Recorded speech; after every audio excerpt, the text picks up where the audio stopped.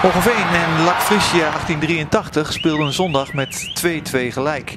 Halverwege de eerste helft bracht Hidde Paten de gasten op een 0-1 voorsprong in een van Hogeveen-zijde bijzonder teleurstellende wedstrijd. In de tweede helft bracht Willem Mollema in de 55e minuut zijn ploeg zelfs op een 0-2 voorsprong.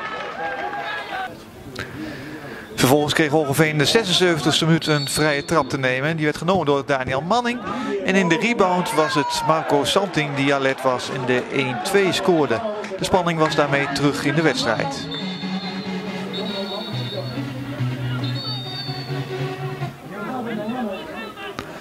Vervolgens gaan we naar de 83e minuut. Voorzet hier van Daniel Manning wordt niet goed weggewerkt. En daar is topscorer Marco Hartman er als de kippen bij om de 2-2 te scoren. En let op wat er dan gebeurt. Daniel Manning voegt zijn directe tegenstander wat toe. Zegt vervolgens iets tegen de scheidsrechter. Die aarzelt niet.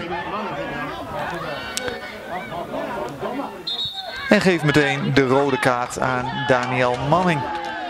Ja, Hogeveen was eigenlijk gewaarschuwd, want uh, scheidsrechter Wentling strooide met gele kaarten deze wedstrijd en liet in de eerste helft al zien geen tegenspraak uh, te dulden. Dus eigenlijk kun je toch wel zeggen van dat dit eigenlijk een domme actie is. Manning druipt af met rood. Ja, en dan in de slotfase grijpt Hogeveen bijna nog de overwinning. Hier is het Saroni Vreeling, trekt die bal voor. De bal wordt er niet goed weggewerkt. En dan is het Marco Santing die uiteindelijk de paal raakt. En Hogeveen net niet de overwinning uh, brengt. En dat zal overigens ook niet verdiend zijn geweest. Nu uh, de bal uh, in de handen van de doelman van Lac Frisia. Ja, en dat geeft Saroni Vreeling eigenlijk een heel klein tikje. Scheidsrechter ziet dat en geeft Vreeling vervolgens zijn tweede gele kaart. En dat betekent ook dat Saroni Vreeling met rood moet vertrekken. De wedstrijd eindigt uiteindelijk in een 2-2 gelijkspel.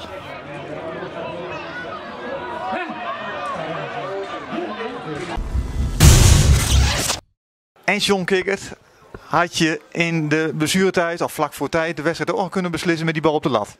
Ja, dat was, dat was wel een beetje pech natuurlijk. Hè. Maar kijk, als je met 2-0 achter staat en uh, het wordt 2-2, uh, dan ben je wel blij met het punt. Maar over de, over de hele wedstrijd gezien denk ik dat er voor ons ook niet meer in zat. Nee, want je had het moeilijk met Lac. De ploeg stond compact, maar aan de andere kant, tempo bij jullie veel te laag. Nou ja, daar hebben we het in de rust ook wel over gehad. Het, was gewoon veel te statisch. Onze buitenspelers stonden constant vast. Hè. En als de middenvelders opliepen, nou ja, bleven zij maar staan. En dan, dan liep je het vast tegen een compact uh, Frisia. En uh, ja, daar hadden we gewoon heel moeilijk mee.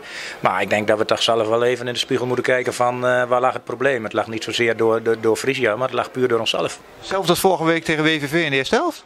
Nou, ik denk, denk uh, WVV was iets andere wedstrijd. Hè. Er waren twee andere ploegen. Uh, je weet dat een Frisia, ja, elk punt die ze hier pakken, dat is dan uh, even een bonus. En ja, dan geven wij gewoon de eerste helft niet thuis. En dat, met name de beweging was er veel te weinig. ja, alleen Thomas Reinders in de beweging.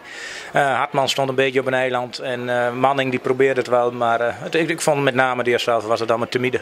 Even naar dat doelpunt, dat eerste doelpunt. van ja, balverlies voorin bij jullie. Ja, en dan wordt Saroni ook wel heel makkelijk uitgelopen. Of lag het meer aan dat balverlies voorin? Nou, als ik zie uh, een, een, brede bal over 8 meter, waar Padding gewoon bij de tegenstander in de voeten schuift. Ja, dan wordt op dit niveau wel afgestraft. En uh, ja, dan staat Saroni misschien niet helemaal goed. En uh, nou, ja, je ziet Bijmers nog een keer twijfel. Nou, dan maakt hij het wel goed af. Maar als ik zie hoe als wij hier balverlies leiden en dan aan de linkerkant bij Dave. Ja, dat mag niet op dit niveau. Nou, dan denk je hetzelfde soort wissel als vorige week eigenlijk. Alleen dan nu in dit geval alleen Jacques die erin komt. Maar in het eerste kwartier van de tweede helft weinig effect. Ja, kijk, uh, we, we, hadden wel wat balbezit en hij ging weer rond, maar het ging in een veel te laag tempo.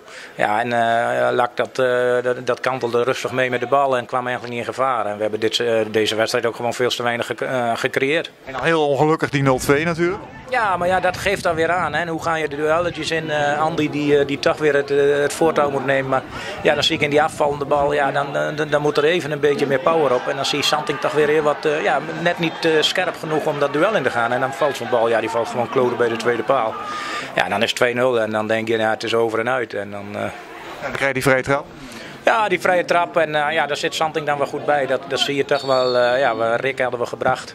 Uh, toch met wat meer strijd en beleving op het veld. En dat zie je dus ook. En ja, dan ga je Santing even wat dieper. En dat is toch wel een, een voetballer die, die diepte ziet. En ja, die reageert er gewoon goed op. Ja. Nou goed, en dan wordt het uiteindelijk 2-2 de Marco Hartman. En je zegt wel, nou ja, een puntje moet je dan tevreden mee zijn.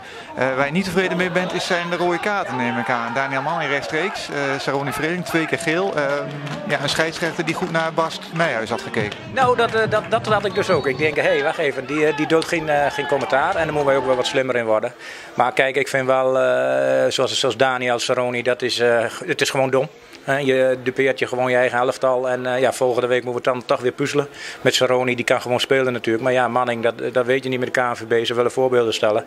Maar het is gewoon, het is gewoon niet slim. Maar uh, ik vond wel bepaalde momenten van... Uh, het mag wel even wat consequenter. En dat idee had ik hier vandaag echt zo, absoluut niet met de man in het zwart. Wat zul je balen hiervan? want ook ja, vorige week zei ik van... nou mooi, de complete selectie. Dan heb je wat wisselmogelijkheden. Dan kun je een wedstrijd doen kantelen. Ja, en dat valt nu al maar één week alweer weg. Ja, dus ik gewoon van de week voor mij helemaal niet zo zwaar getraind, rustig getraind. Maar uh, ja, uh, Lionel is er nog niet. Etje valt weg, Stefan Kikkert valt weg. Nu Manning weer. Ja, en dan, uh, ja, moet je toch weer een A-junior met Jeffrey van Veen brengen. En op zich, die doet het gewoon goed. Maar ja, dan wordt de spoeling wel weer dun. En ja, we zijn nog maar vijf wedstrijden onderweg. Dus, Acht punten, iets beter dan vorig jaar. Ja, kijk, ik vind gewoon uh, met name hier thuis tegen Nieuwbuin hebben we het laten liggen. En uh, deze, ja, dat, dat overkomt je soms is. En uh, ja, ik op zich, ja, ik vind zelf 10, 11 punten hadden erin moeten zitten. Maar gewoon een zware start gehad. En toch ook leuke dingen, goede dingen gezien. Dus ja, het is geen man overboord als we naar de koppositie kijken, wordt volgende week cruciaal. Hè? Want ja, Achilles staat vijf punten voor en dan moet je tegen. Achilles gewoon, weet je, gewoon eh, een paar jongens van de BVO van Groningen gekomen. En uh, ja, die kunnen we voetballen. Die hebben een stukje voorsprong op een aantal spelers. Hè. Dat zie je bij ons ook. Bij ons vallen jongens even, wat jonge jongens wat terug. Maar uh, ja, kijk, als uh, gewoon, we gaan gas geven en we gaan de kort opzetten. En de druk ligt niet bij jullie? Nou, de druk ligt nooit bij mij. Nee, absoluut niet. Uh, kijk, ik vind gewoon, we moeten durven te voetballen. En uh, Achilles uh, vorig jaar twee keer tegen gevoetbald en gewoon goede resultaten neergezet. Die nemen we mee. En, maar ja, geef je ruimte tegen zulke tegenstanders, weet je het moeilijk. Dus ja, we zullen toch iets anders gaan spelen misschien. Maar daar hebben we een hele week om over na te denken.